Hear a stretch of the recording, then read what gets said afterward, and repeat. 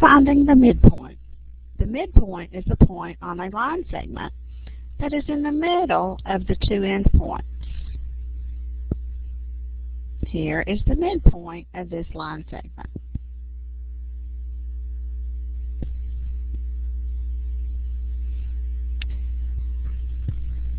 Using the diagram, you can see that the x-coordinate of the midpoint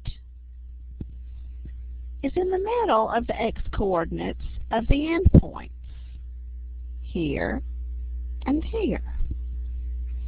The y-coordinate is also in the middle of the two y-coordinates of the endpoints. We can find the location of the midpoint by simply averaging the coordinates of each of the endpoints. In the formula,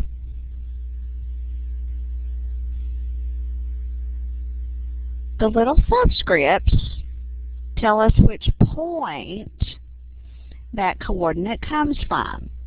So this means the x coordinate from the first point, and this means the x coordinate from the second point.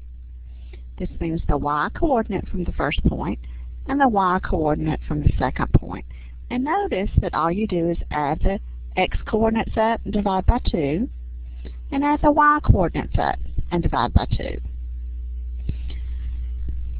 Now let's try one. This line has the endpoints, negative 1, 2, and 5, negative 4.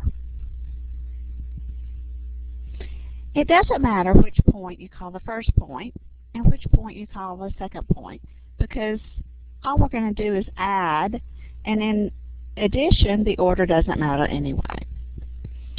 So let's find the midpoint. Let's write the formula down. x1 plus x2 divided by 2 and y1 plus y2 divided by 2.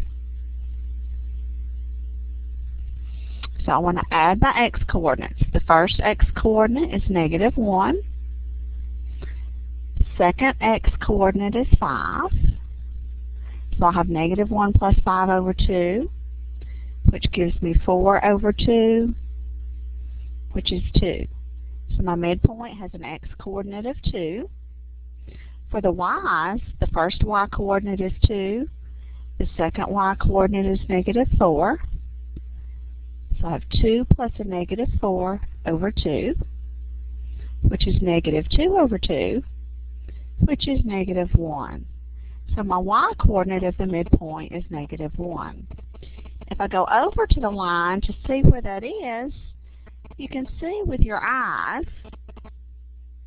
point 2, negative 1 does look like it's right in the middle of that line segment.